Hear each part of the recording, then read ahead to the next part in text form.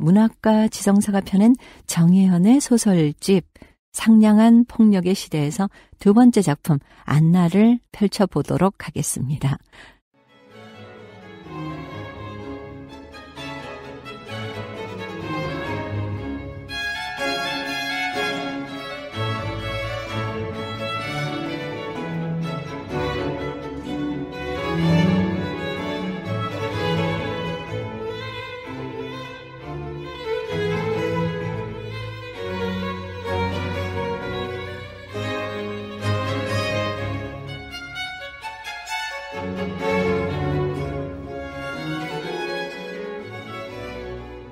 여자, 여자, 여자, 여자, 여자.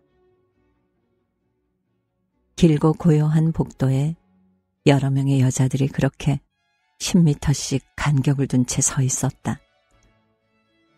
빳빳한 연두색 앞치마를 목에 걸고서 서로의 뒤통수를 바라본 채 묵묵히 선 여자들.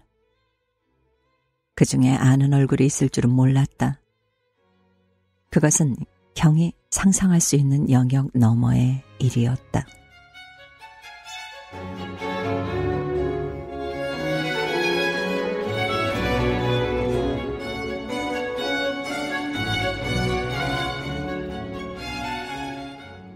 경은 자신이 누군가의 인생에 대해 잘 안다고 자부할 만큼 오만한 사람은 아니라고 생각했다. 경은 주부였다. 박사학위를 가지고 있고 지방대학 몇 군데에서 잠시 강의를 한 적도 있었지만 모두 옛일이었다. 결혼은 32살 봄에 했다. 남편은 3살 연상의 가정의학 전문의로 지금은 뷰티 클리닉을 운영하고 있었다. 남편과의 첫 만남을 궁금해하는 이들에게 경은 춤을 추다 만났다고 말하기를 좋아했다. 그러면 상대방은 대부분 네 하고 되묻거나 흥미로워하는 표정을 지었다.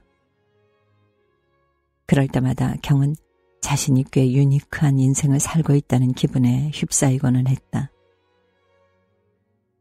유니크하다는 게 무슨 의미냐 묻는다면 물론 쉽게 설명할 수는 없었다. 그렇지만 그건 독특하다는 한국어와는 분명히 다른 느낌이라고 말할 수 있었다. 사실 경과 경의 남편이 라틴 댄스 동호회를 통해 만나게 된 것은 맞지만 춤을 추다 만난 것은 아니었다. 그들은 함께 춤을 춘 적도 없다. 경은 지금껏 남편이 춤추는 모습을 본 적 없었고, 경의 남편 역시 그럴 것이다. 31살이 되었을 때 경은 사면 초가의 국면에 빠져 있다고 느꼈다. 학위 논문은 또 한 학기 미뤄졌고 사귀던 남자와는 헤어졌다. 도망치듯 동유럽 여행을 떠났지만 달라지는 것은 없었다. 풍경들은 아름다웠지만 또 그렇게까지 아름답진 않았다. 창밖으로 흘러가는 단유부강을 바라보면서도 경은 서른 하나라는 숫자에 대해서만 골똘히 생각했다. 귀국해서 당분간 내가 누구인지 탐색하는 시간을 가지겠다고 선언하자 부모님은 화를 냈다. 그들은 그 말을 당분간 결혼하지 않겠다는 뜻으로 받아들였던 것 같다. 아버지는 지금처럼 미래에 대해 수수방관한다면 곧 경제적 지원을 끊겠다는 엄포를 놓았다. 경은 아랑곳하지 않았다. 심심풀이로 가입한 인터넷 라틴 댄스 동호회 게시판을 읽다가 매 주말 저녁 신사동의 살사 전문 클럽에서 댄스 강습회가 열린다는 것을 알게 되었다. 평소 자주 지나다니는 길목이었다. 딱히 약속이 없던 토요일 저녁, 경은 충동적으로 클럽에 갔고 라틴 댄스의 매력에 눈을 떴다. 아니, 경이 매료된 대상은 댄스가 아니라 댄스 동호회라고 해야 옳았다. 그곳은 아주 크지 않은 규모의 동호회였고 초보자를 기수별로 나누어 강습을 시켜주는 프로그램이 체계화되어 있었다. 회원 대부분은 그녀와 비슷한 연배였다. 그들은 지금껏 경이 알아온 친구들과 달랐다. 그들은 과도하지 않을 만큼 친절한 태도로 서로를 대했다. 처음 보는 사람들과도 금방 속을 터놓고 도움과 농담과 우정을 주고받았다. 서로 아는 것이 이름과 나이뿐인 사람들과 말이다. 경이 자라온 세계에서 그건 그 사람에 대해 아무것도 모른다는 것과 마찬가지였다. 경은 놀라웠고 그 놀라움은 이내 감동으로 이어졌다. 이름과 나이 정도만 오픈하면 더 이상 사생활을 공개할 필요가 없다는 점도 좋았다. 숨겨야 할 비밀스러운 사생활이 없다는 것과는 또 다른 문제였다. 경은 37기가 되어 본격적인 연습을 시작했다. 몇 개월 후에는 발표회가 예정되어 있었다. 37기의 여자와 남자는 각각 15명씩이었다. 그들은 매주 수요일과 토요일 늦은 밤까지 춤을 추었고 연습이 끝나면 더 늦은 밤까지 뒤풀이를 가졌다. 흠뻑 땀을 흘리고 나서 차가운 맥주 한 잔을 들이켜는 기분은 형용하기 힘들었다. 그전에는 알지 못했던 세계의 문을 열고 한 발자국 들어선 느낌이었다. 육체의 해방감이란 이런 것인지 모른다고 경은 은밀히 생각했다. 어른이 된 후 새로운 사람들과 일주일에 두 번씩 자발적으로 만나는 일이 흔한 건 아니었다. 경이 댄스 동호회 동기들에게 각별한 친밀감을 품게 되기까지 그리 오랜 시간이 걸리지 않았다.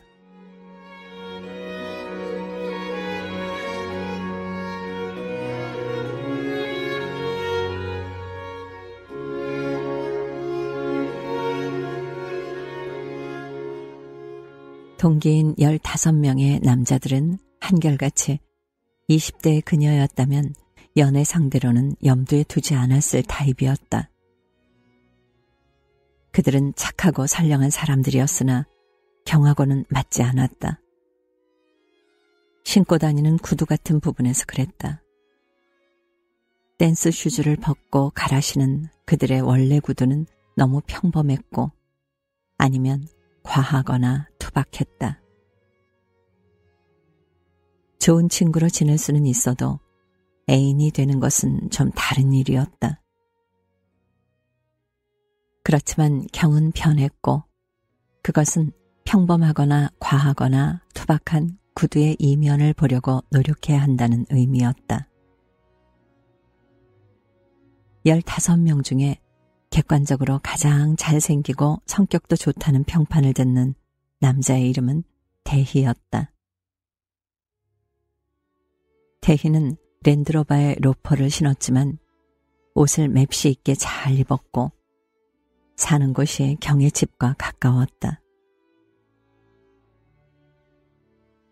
나이가 어린 다른 남자들이 꼬박꼬박 누나라고 부르는 데 비해 태희는 경의 이름 뒤에 씨라는 의존 명사를 붙여 불렀다. 이성으로 관심이 없는 여자에게라면 구태여 그럴 필요가 없을 것이다. 경은 대희에 대해 곰곰이 생각해보기 시작했다.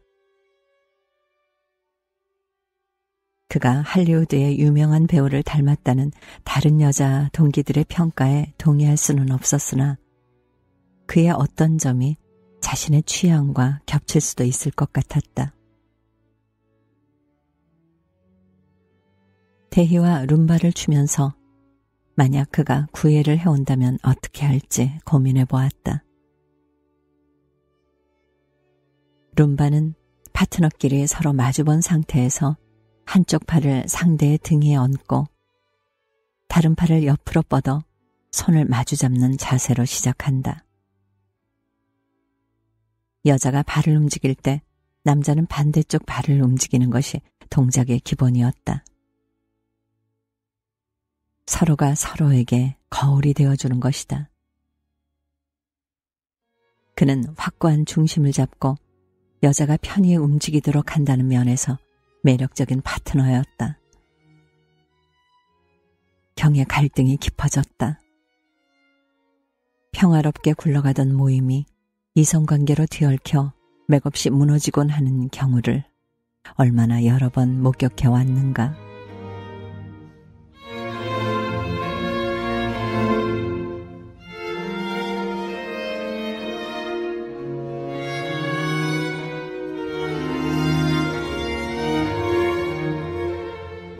태희가 경에게 고백하는 일은 일어나지 않았다. 얼마 지나지 않아 태희가 여자 동기 15명 중 한 명에게 고백했다. 퇴짜를 맞았다는 소문이 안개비처럼 퍼져갔다. 태희를 거절한 여자가 안나였다. 그러고 보니 태희가 멀찍이서 안나를 쳐다보는 눈길이 창백한 애련으로 가득한 것도 같았다. 안나. 조안나라는 이름은 잊어버리기 힘든 이름이다. 안나는 37기 중에 최연소자였다. 그때 안나의 나이는 22살 아니면 23살이었을 것이다. 처음으로 한 명씩 자기소개를 하던 날, 안나가 태어난 해를 말하자 좌중에서 오 하는 감탄사가 터져나왔던 것을 경은 기억했다. 그때 안나는 빙긋 짧게 한번 웃어 보이곤 자리에 앉았다. 미소가 싱그러웠다. 경은 박수를 쳤지만 가슴 깊은 곳에서 무언가가 뒤틀렸다. 왜 그런 기분이 들었는지는 모를 일이다. 다만 박수를 받을 일이 나일 뿐이라니 왠지 안 됐다는 생각이 들었던 것 같다. 객관적으로 안나는 아주 미인이라고는 할 수 없는 외모를 가졌다. 지나치게 깡말랐고 피부도 좋지 않았으며 머리칼도 푸석푸석했다. 그런 안나는 플로어에 섰을 때 다른 사람이 된 것처럼 단연 돋보였다. 보통 키였지만 팔다리가 유난히 길었고 댄스 초보자라는 걸 믿기 힘들 정도로 유연하게 리듬을 탔다. 춤을 추다 보면 그것이 얼마나 큰 축복인지 금세 알게 된다. 박자는 박자대로, 몸은 몸대로 흐른다. 흐르다가 풀렸다가 엉키고 다시 흐른다. 그 흐름에 자연스러운 척 올라타기 위해 보통 사람은 거푸 연습을 하는 것이다.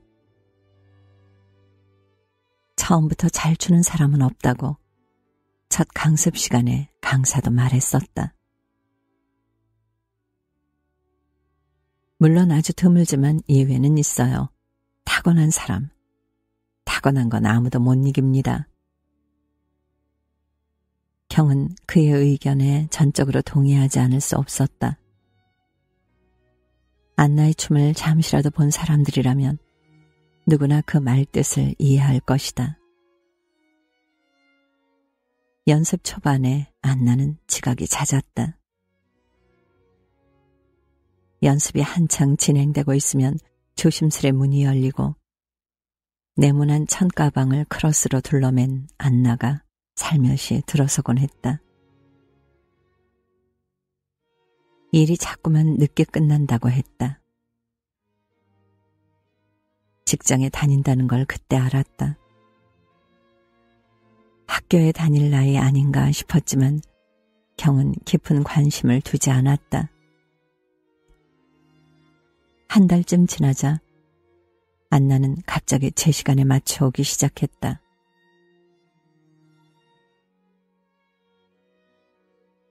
요새는 회사가 일찍 끝나나 봐요. 화장실에서 아무 말 없이 앞뒤로 차례를 기다리기가 어색해서 물어보았다. 아, 언니. 저 직장 옮겼어요. 안나가 시원시원하게 대꾸했다. 연습 안 늦으려고요. 경은 그것이 당연히 농담이라고 생각했다. 취미생활 시간에 맞추려고 직장을 옮기는 사람이 세상에 어디 있단 말인가. 안나는 수요일의 뒤풀이에는 참석하지 않았다. 연습이 끝나자마자 번개처럼 후다닥 옷을 갈아입고서 곧바로 없어지곤 했다. 수요일 밤에는 일을 하러 가야 한다고 했다. 평일 밤 10시에 시작하는 일이 무엇일까 궁금했지만 내색은 하지 않았다. 토요일에는 뒤풀이에 오기도 했지만 딱 맥주 한 잔만을 마시고는 일찍 일어설 때가 대부분이었다. 태도는 늘 비슷했다. 다른 사람들의 이야기를 지그시 경청했고 여간에서는 아무에게도 먼저 말을 붙이지 않았지만 누가 묻는 말엔 소탈하고 시원시원하게 대답했다. 쓸데없이 웃음을 과장하지 않았고 괜스레 심드렁한 태도를 꾸며 좌중을 어두침침하게 만들지도 않았다. 안나는 딱 안나만의 무게로 그 자리에 존재했다. 대희와 얽힌 소문 같은 것에는 전혀 신경 쓰지 않는 눈치였다. 아니, 그녀는 자신을 둘러싼 온갖 호의나 악의 따위에 좌지우지 되지 않는 사람으로 보였다. 그러기에 안나는 너무도 바빴다. 아마도 그랬을 것이다. 그 시절에 안나는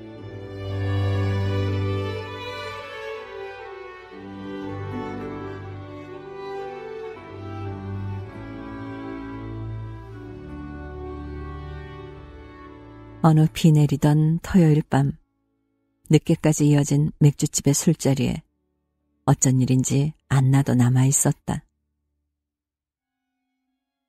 사람들이 어느 정도 취하고 분위기도 흐트러졌을 무렵 옆 테이블에서 대희의 낮은 음성이 들려왔다. 바쁜가 봐요, 아직도. 경은 귀를 곤두세웠다. 네, 먹고 살려니까요. 안나는 언제나처럼 막힌 데가 없었다.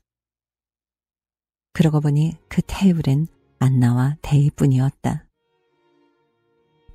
데이는 평소보다 좀 더 취한 것 같았다. 잠시의 침묵이 흘렀다. 왜 자꾸 그런 식으로 말하니? 데이가 벼랑간 반말을 썼다. 안나가 가만히 시선을 내리까는 모습을 경은 곁눈으로 훔쳐보았다. 대희가 앉은 자세 그대로 엉덩이를 주춤주춤 움직여 안나 옆으로 다가갔다. 안나는 피하지 않고 그대로 있었다. 경은 자기도 모르게 숨을 참았다. 테이블 아래에서 대희의 손이 안나의 무릎을 잡았을까? 대희의 종아리와 안나의 종아리가 얽혔을까? 그들은 더 멀리로 갈 수 있을까? 어디까지?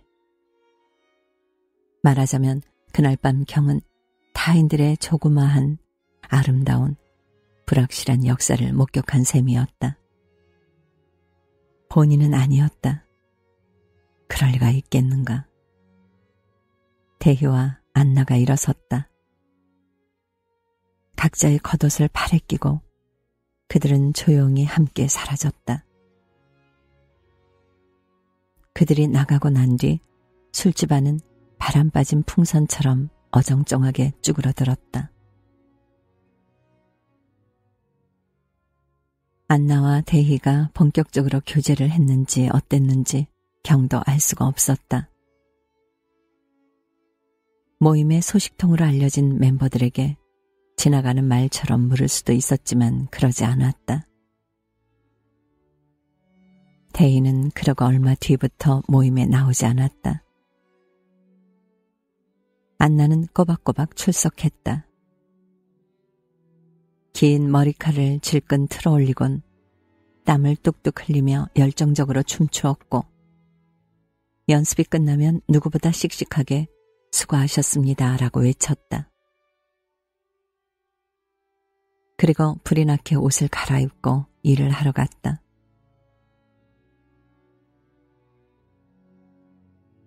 안나는 이제는 토요일의 뒤풀이에도 참석하지 않았다. 사람들이 여럿 모이면 어디나 뒷말이 많다. 선량하고 유쾌한 사람들의 모임이라고 해도 예외는 아니다. 안나가 밤마다 아르바이트 하러 가는 곳이 남자들을 상대하는 토킹바이고 대희가 그 사실을 받아들이지 못해 괴로워했다는 이야기가 돌았다. 경은 반은 믿고 반은 믿지 않았다.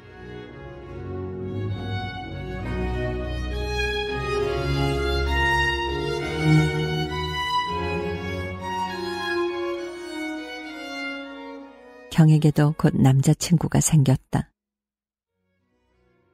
15명 동기들 중에 한 명을 따라 우연히 술자리에 합석하게 된 남자였다.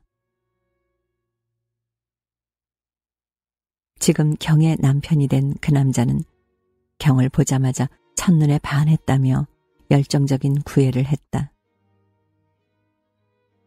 그가 완강히 반대하여 발표의 무대에 오르지 못한 일은 경의 마음 깊은 곳에서 두고두고 아쉬움으로 남아있다.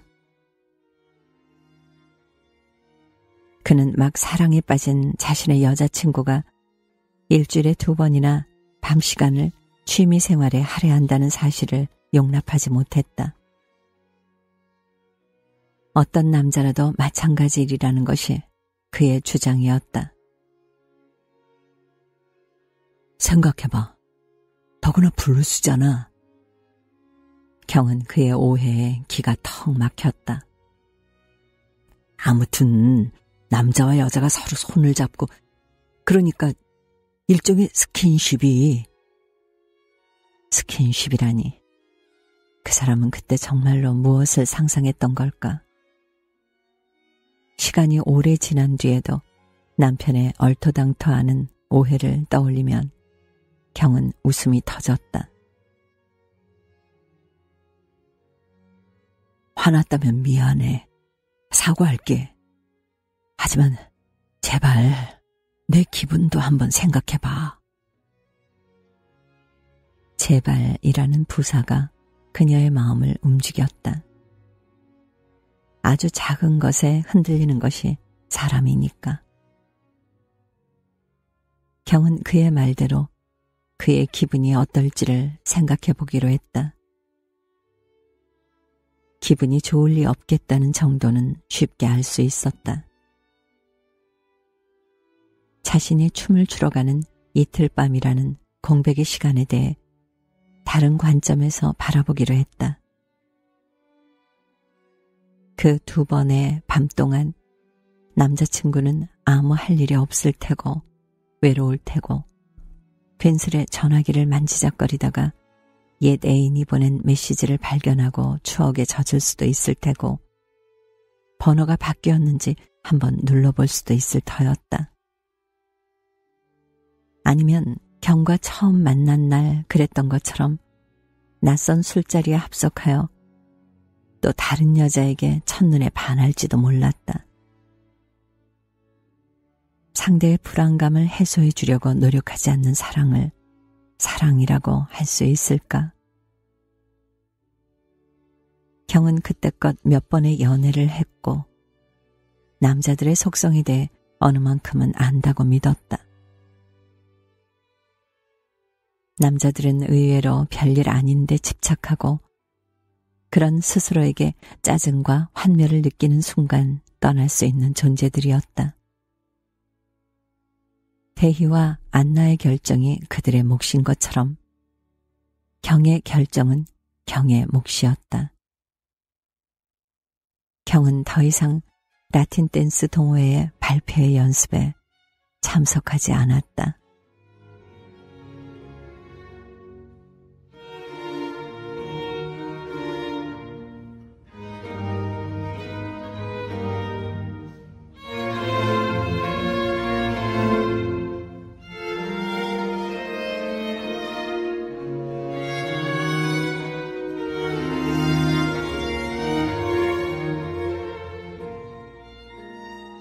8년 만에 경과 안나가 조우한 장소는 한 영어 유치원의 강당이었다. 그곳에 입학하기 위해 경과 아이는 1년의 준비 기간을 가졌다. 재미교포 과외 선생을 일주일에 세 번 초빙해 리딩과 라이팅 시험에 대비했다. 아이는 입학 테스트를 치르러 가기 며칠 전부터 콧물을 훌쩍였다. 맑은 콧물색이 누렇게 변했고 미열도 떨어지지 않았다. 경은 감기약을 먹이지 않기로 했다. 감기약의 항히스타민 성분이 뇌의 각성작용을 방해해 졸음을 유발한다는 건 널리 알려진 사실이었다. 시험을 잘 끝낸 후 소아 청소년과로 달려가도 늦지 않을 거였다. 31살에서 39살이 되는 동안 경은 가장 중요한 것이 무엇인지 좀 더 신속히 알아내고 실행에 옮기는 사람이 되었다고 자각했다. 그러지 않으면 뒷감당을 해야 할 귀찮은 일들이 너무 많이 생기고 그건 온전히 자신의 몫이라는 사실을 알았기 때문이다. 원하던 영어 유치원에 합격 통보를 받던 날, 경은 뛸 듯이 기뻤다. 즉시 남편에게 전화를 걸었으나 연결되지 않았다. 간호조무사가 원장님은 시술 중이라서 통화가 어렵다고 전해왔다. 남편의 클리닉에서 이즘 가장 중점을 두는 것은 제모 레이저였다. 제모 레이저 시술이 정확히 어떤 과정을 거쳐 이루어지는지 경은 알지 못했다. 아마도 원하는 부위에 텁수룩한 털을 미리 정리한 다음 마취 크림을 바르고 레이저를 쏠 것이다. 모르는 여자의 축축한 겨드랑이를 치켜들고 거무죽죽한 털을 쪽집게로 한 가닥씩 뽑는 남편의 모습이 떠오를 때도 있지만 그때마다 경은 황급히 상상을 멈추곤 했다.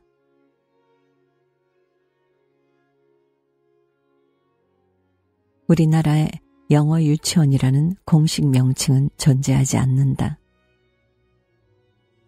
경의 아이가 다니게 된 유치원은 엄밀히 말해 영어 학원의 유치부였다.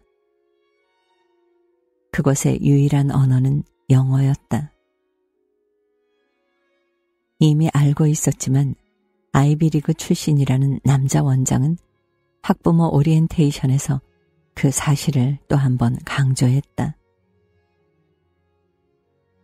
모든 교사들은 물론이거니와 구내식당의 영양사와 안내데스크의 여직원, 원장의 비서도 원칙적으로 영어만을 사용한다고 했다. 아이들에게는 세 번까지 기회가 주어졌다. 교실이나 복도, 화장실, 체육관 등 원내 공간에서 한국어를 사용하다 눈에 띄는 아이에게는 먼저 경고 조치가 내려지고 두 번 거듭되면 여러 장의 반성문을 제출해야 했다. 세 번째는 퇴학이었다. 예외는 없다고 했다. 원장은 퇴학 대신 아웃이라는 표현을 썼다. 실제로 재작년과 작년에 각각 두 명씩의 아이들이 그런 이유로 아웃당했다고 덧붙였다. 가슴이 아팠다고 했다. 원장은 영어로 빠르게 말했고, 옆에선 부원장이 요약하여 한국어로 통역했다. 물론 아이들이 잘못을 저지른 것은 아닙니다. 다만 우리의 교육 방침과 어울리지 않을 뿐입니다. 경의 귀에는 영어는 물론 한국어의 의미도 제대로 전달되지 않았다. 더워도 너무 더웠기 때문이다. 난방이 가동되는 강당의 실내 온도는 30도는 되는 것 같았고, 경은 하필 밍크 소재의 코트를 입고 있었다. 무릎까지 오는 그 은백색 털코트는 결혼할 때 예물이라곤 하나도 받지 못한 딸을 위해 친정 어머니가 사준 것이었다. 새 유치원의 다른 자모들과 처음 대면하는 자리였다. 겨울만큼 옷을 통해 계급이 노골적으로 드러나는 계절은 없을 것이고 그 코트는 그녀의 옷장에서 가장 고가라는 이유로 선택되었다. 유치원 강당문을 열고 나서야 경은 자신의 오판을 깨달았다. 그곳에는 모피를 걸치고 온 여자들이 아무도 없었다. 경은 몸을 감싸고 있는 그 거대한 코트가 이제는 명백히 구형이 되었음을 인정해야 했다. 어깨가 움츠러들었다. 빈자리를 찾아 맨 앞열의 가운데 가까스로 끼어 앉았다. 곧 행사가 시작되었다. 코트를 벗을 만한 타이밍을 놓쳤고 경은 한 시간 동안 꼼짝없이 그대로 앉아 있어야만 했다. 오리엔테이션은 진지한 분위기에서 진행되었다. 각 교과목에 대한 설명이 하나씩 이어졌다. 필수 교재에 대한 설명도 뒤따랐다. 교수 부장이 마이크를 잡고서 원아들이 졸업할 즈음에는 미국 초등학교 4, 5학년 수준의 아티클은 편안히 읽게 될 거라고 공언했다. 학부모들의 반응은 묵묵했는데 교수 부장이 제시한 목표가 너무 소박해서 보인 반응인 것 같기도 했다. 교사 소개 시간이 되었다. 교사들의 이름이 차례로 호명되었다. 먼저 원어민 담임들이 한 명씩 무대 앞으로 나왔다. 모두가 앵글로색슨이었다. 원어민 교사 전원이 북아메리카 출신이며 영어 교육과 관련된 학사 학위를 가지고 있는 것이 그것이 내세우는 자랑거리의 하나였다. 그들이 짧게 자기소개를 했다. 뒤를 이어 bilingual 교사라 불리는 정교사 부 담임들이 하나하나 소개되었다. 서른 안팎의 젊은 여성들이었고 모두 재미교포였다. 그들도 영어로 인사를 했다. 그 다음은 보조교사들 차례였다. 유니폼인 듯한 흰 피켓 티셔츠를 맞춰 입고 연두색 에이프런을 두른 보조교사들이 한꺼번에 무대에 올랐다. 열 명쯤 되었을까. 모두 다 젊은 여자들이었다. 원어민 교사와 두 언어를 모두 사용하는 한국인 교사가 있는 시스템은 어느 영어 유치원이나 엇비슷하다. 곳에 따라서는 아이들의 케어만 담당하는 보조교사 체제를 함께 운영하기도 한다. 일반적으로 보조교사는 아이를 통원버스에 태우고 화장실에 데려가고 손을 씻기고 식사를 돕는 역할을 담당한다.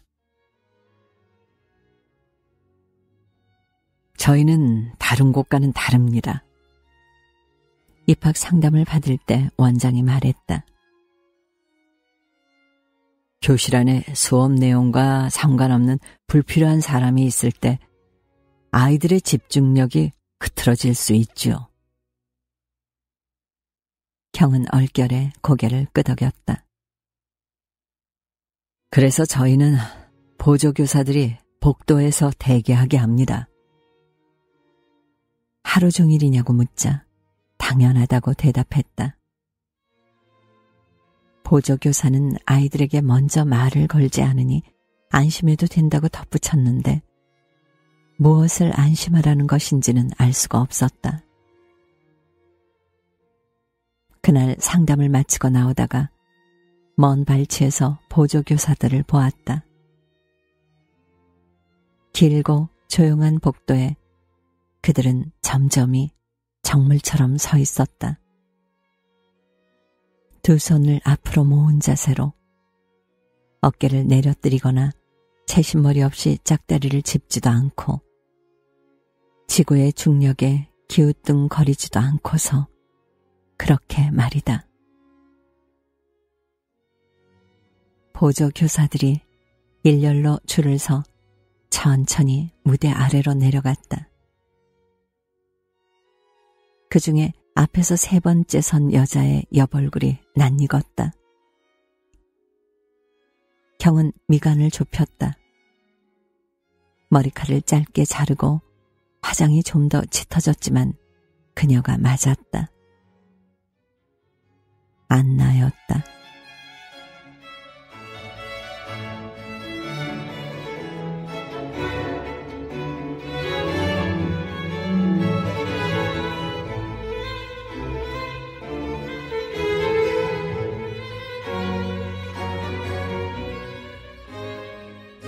여느 영어 유치원과 마찬가지로 그곳에서도 원아들을 모두 영어 이름으로 불렀다. 경은 아이의 이름을 제임이라고 정했다.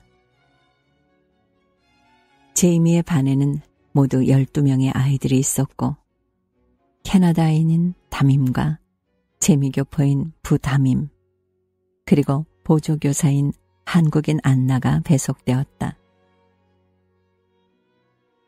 안나와 경은 입학식 날 같은 반 학부모와 보조교사로 정식으로 인사를 나누었다.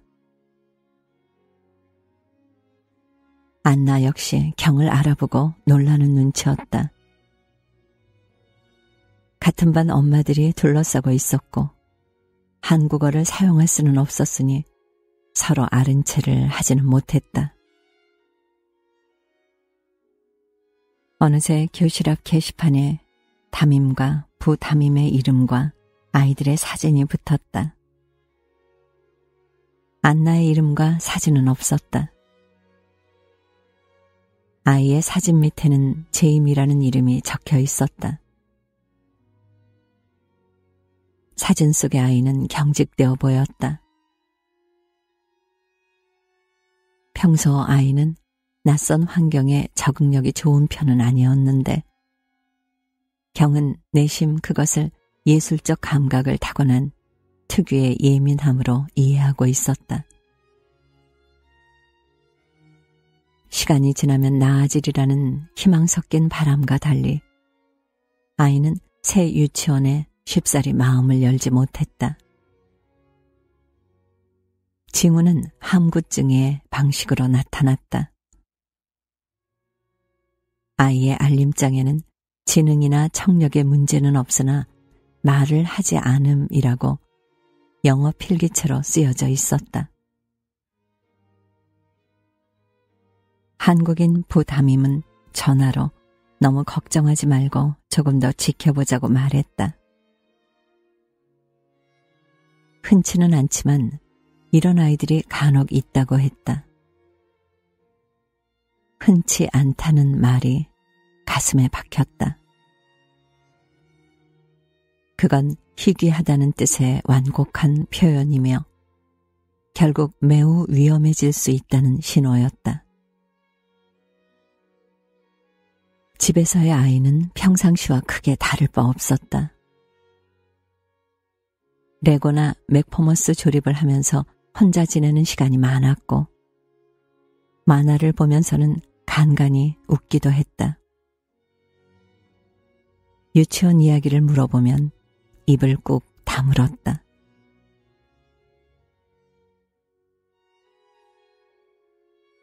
경은 같은 반 엄마들의 브런치 모임에도 참석했다.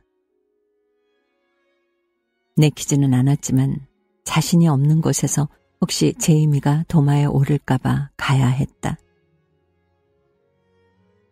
짐작보다 낮은 수준에 맞춰 수업이 진행되어 불만이라는 이야기. 외부 예체능 강사들의 영어 실력이 수준 이하라는 이야기. 점심 급식 메뉴에 소시지나 햄 종류가 많은 것 같아 걱정이라는 이야기 등이 두서없이 오갔다. 남자아이들끼리 하키와 축구팀을, 여자아이들끼리는 리듬 체조팀을 만들게 하자는 제안도 나왔다. 아이들 담임인 캐나다인은 작년부터 깐깐하기로 소문난 교사인데 실력은 있는 사람이라 다행이라고들 했고 부 담임은 다른 학원에서 옮겨온 지 얼마 안 되어 검증되지 않은 사람이라 염려스럽다고들 했다. 안나에 대해서는 대체로 평이 나쁘지 않았다. 누군가 아이 외투의 단추를 하나씩 밀려서 잠가 보냈다고 불평한 것 말고는 그랬다. 다른 반 보조교사에 비해 싹싹하고 몸이 가벼운 것 같더라. 점심시간에 밥을 참을성 있게 끝까지 떠먹여 준다고 하더라. 화장실에서 대변을 뉘고 나면 꼭 전용 티슈로 깨끗이 닦이더라 등의 이야기가 나왔다. 안나는 여전히 성실하구나. 경은 생각했다.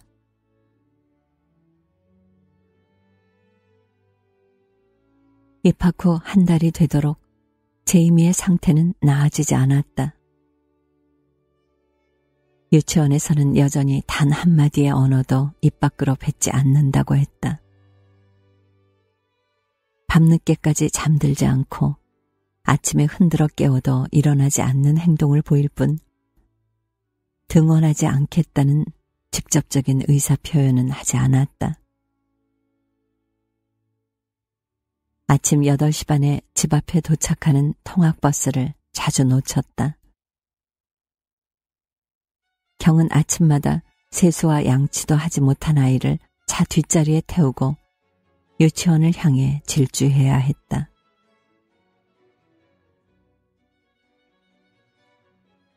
아이는 차 안에서도 말이 없었다. 잠들었나 싶어 룸미러로 살피면 눈을 뜬 채 창밖을 물끄러미 응시하고 있었다. 경의 근심은 점점 커져갔다. 아이의 증세에 대하여 아직 아무에게도 털어놓지 못했다. 남편은 모든 것을 경의 탓으로 돌릴 터였다. 친정 식구들이나 가까운 친구들 역시 몇 마디 무책임한 조언을 던질 수는 있겠지만 실질적인 도움은 되지 못하리라. 언젠가는 소아정신과나 아동심리상담센터를 찾아가게 될 수도 있다고 각오하고 있었지만 아직 너무 일렀다. 경은 결정적인 시간을 어떻게든 늦추고 싶었다.